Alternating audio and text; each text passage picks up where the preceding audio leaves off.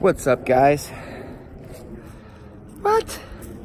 So, I made a remark in my last video saying that we all have at least two voices in our head at any given time, sometimes three. And depending on which one you're listening to, will dictate where your life's going. Depending on where you're at in life, you'll be able to know which one you've been listening to. And let me tell you, there's a part of you, there's an entity inside you that doesn't want you to succeed, doesn't want you to have a happy life, doesn't want you to find love, doesn't want anything, just wants you to be miserable, wants you to sit in a room all day staring at your phone watching YouTube videos so it could preserve the most energy. Because guess what? Our bodies were built to preserve as much energy as we can at any given moment. So when the time comes and we need that energy, it's there. So it will talk you out of doing anything that will move you forward in life. And if you keep on giving in to that fucking weak fucking voice, you're not going to go anywhere in life. Now, the first step to actually creating the life that you want is to know where you want to go, where you want to be. What do you want to do? You know, those are usually the three questions that you ask yourself when you're trying to figure out life in general. But me, I go about it a little bit differently. I don't look at, you know, what I want to do, where I want to be. None of that shit. I I dictate where I'm going by my state of being. It's not necessarily something that I want to do or somewhere I want to be, but more so how I want to feel. And that's it. And I think it's a lot easier to manifest your dreams through your state of being. Meaning, you know, as long as I'm like, I'll give you an example for me. I just want to find fulfillment in helping others achieve their dreams to to help them better their life by any means, you know, whether that's, you know, they're struggling with addiction or some type of disorder or mental illness, whatever it is, I want I want to assist them through that dark time. And however the universe wants to bring that to me, I'm okay. But my only stipulations is I want to feel fulfilled. I want to, I want to, I want to be joyful while I'm doing it. I want to find happiness. I want to find love, like self-love. Not no artificial ass love from some other entity, because that's not real love. You will never experience real love until you experience self-love. That's guaranteed. All that other shit, it's a distraction. And just think, we all have had it where, you know, we, uh, you know, we found somebody, right? And in the beginning of that relationship, you felt so good. That person was always on your mind and maybe got butterflies in your stomach and, you know, your whole day, your whole week just changed just from that one person, you know? That's how powerful love can be. Now imagine real love self-love and waking up and feeling that love from within and being excited to take on the day because you know you're just going to be filled with love and joy and fulfillment and happiness, satisfaction, gratitude, all that. That is achievable and that is the goal.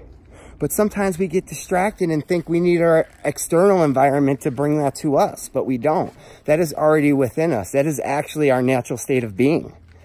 It's our natural state of being. When you were a child, it didn't take nothing except maybe a or something to fucking just light you up, make you feel laughing, joyful, happy, all that. And then that disappeared somewhere down the lines. Whether it was uh, you know, social conditioning, your parents, your siblings, whoever, whoever, it doesn't matter who it was. Knowing who took it from you is not going to solve your problem. But knowing that you're responsible for getting that back, now that will, that will serve you. Just know that ain't no one responsible for your happiness, for your love, for your joy. That is all created from within. And the moment that you hold yourself accountable for bringing that into your life, that's when your life will start changing. And it just doesn't happen overnight. You know, your life wasn't just fucked up overnight. No, it was a fucking sequence of events that further confirmed. But if you just take this first step, that's all it takes.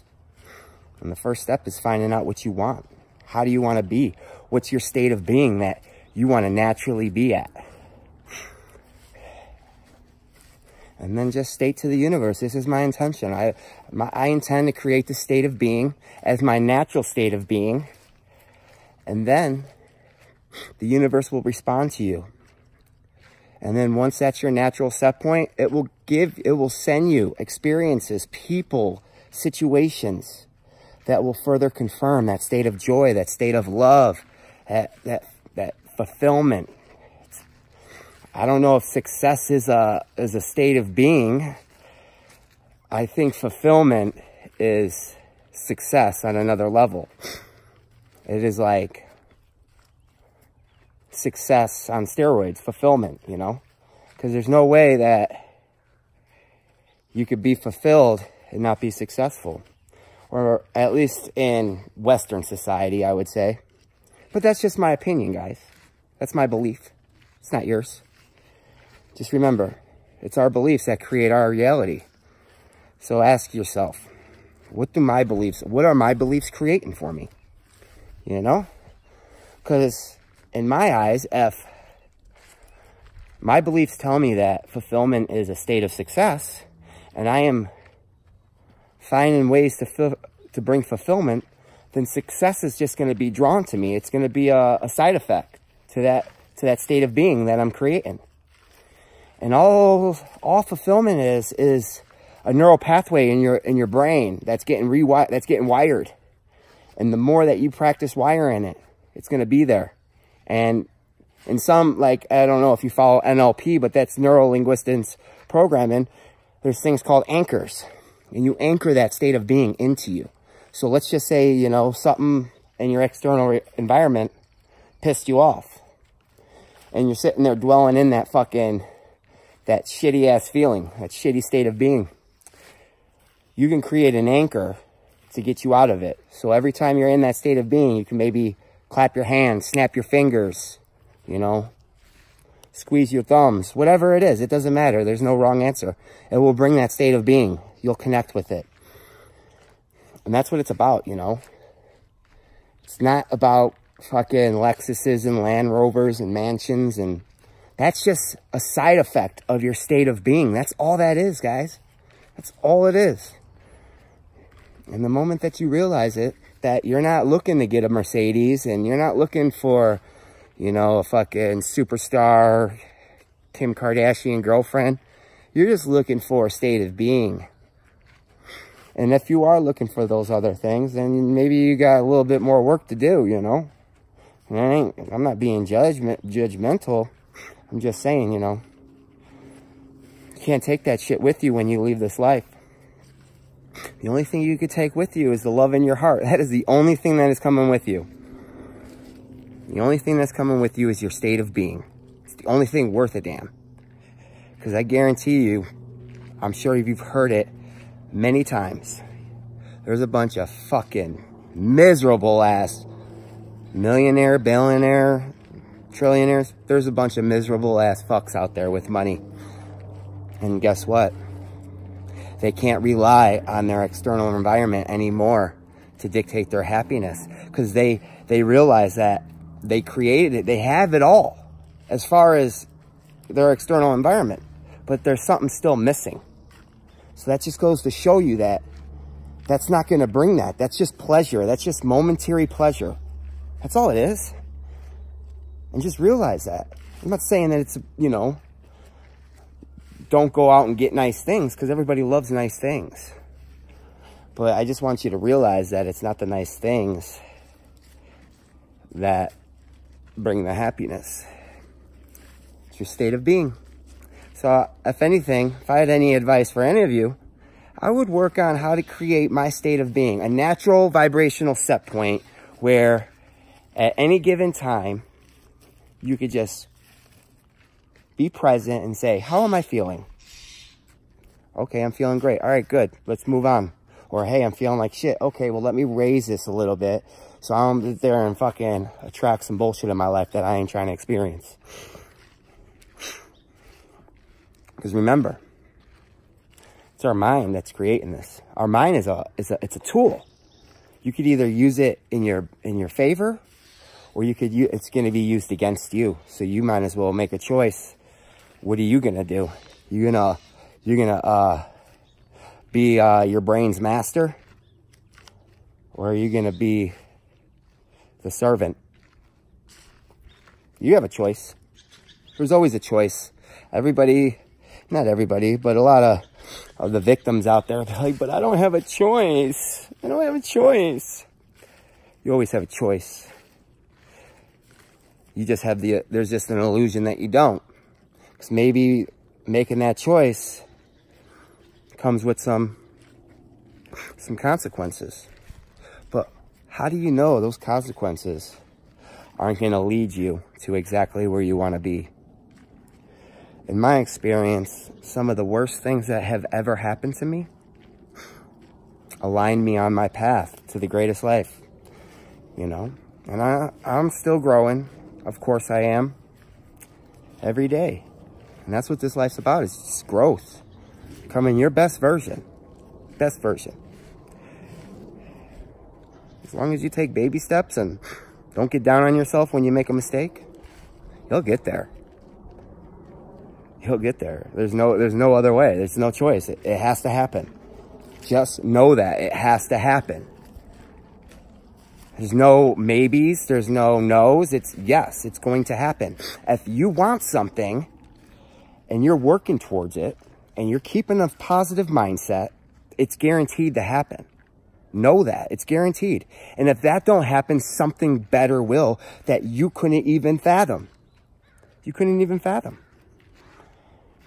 Just remember, when you go to the gym and you start exercising, you start working out, you're going to fucking grow muscle. You're going to build muscle. You're going to burn fat. And you're going to build a body that you like looking at in the mirror. It's guaranteed because you're putting in the work and it's the same aspect. If you put in the work, the results will show up. You know, they might not show up as fast as you'd like them to. And that's where patience comes in. Be patient with yourself. Be fucking patient. Once you learn patience, oh man, Nothing can stop you. You're just sitting there. You're just waiting for it to happen. So many people think they got to make these drastic ass moves in life to make something happen. And that's further from the truth too. It's always, I, where I've gotten in my life, it's all done through baby steps. And a lot of times I took three steps forward and two steps back, three steps forward, two steps back. But guess what? When I'm moving forward, I'm always a step ahead. And that's all that matters. That's all that matters. There's no shortcuts in life. That's guaranteed. I've learned that fucking numerous times the hard way. No shortcuts. So ask yourself this question today. If there's two entities inside me, one wants me to succeed and one wants me to fail, which one are you listening to? I'm just I'm just here, guys, doing what I feel like I should be doing. Because you know what? I don't know exactly what my purpose is, but I know it is to be of service. And I just can't sit around doing nothing. I'm not not doing nothing. I'm doing my, my work within, you know, myself and finding out who my true authentic self is. But sometimes, you know, you need something else. At least I do. So I figured, you know, why not just make a few YouTube videos, you know? Do I plan on being this fucking YouTuber? No, but it could be a, a part of it. It could be a part of the purpose, a part of the plan, you know? It's just a piece of the puzzle, guys. We get a little piece of the puzzle at a time, just one piece. And once we find where that piece goes, we get another one, then another one, and then another one. Until you're looking at this big old mural of this beautiful masterpiece. And if someone was to just take these fucking puzzle and dump it out right in front of you, you'd be overwhelmed. You'd be overwhelmed. You wouldn't know what to do and you'd just give up and say, fuck it, I'm good. So therefore, they'll just give you a piece at a time. Just be grateful for that piece. Every little piece that you get, be grateful for it. Say thank you. I'm going to find where this goes. And once I find where this piece goes, I will be back asking for another piece and another piece and another piece. That's what it's about, guys. Slow incremental steps. You know? It's like, what could you do today that will get you closer to your best version? And I mean little steps. It could be, it could be as little as, you know, I'm going to drink more water today. You know, I don't drink enough water. I'm going to drink, I'm going to drink more water. Or instead of, you know, getting that number six at McDonald's, I'm just going to get the salad and, you know, some apple slices. Small steps, guys. Small steps. And you know what? The next time you come back to McDonald's, you might fuck up and order that number six with that Diet Coke. But guess what? You're going to think like, damn, I didn't make the right choice. Oh, well, I'm not going to dwell on it, but next time I know better, I'm going to make a better decision. Be mindful, guys. Be present. And just remember, happiness is a choice. Misery is a choice. What are you choosing? Hit that subscribe button if you want either way, I'm just gonna push this. I'm just gonna put them out there, man. I'm Just gonna put them out there. Put them out there. Put them out there. Have a blessed day. Nothing but love.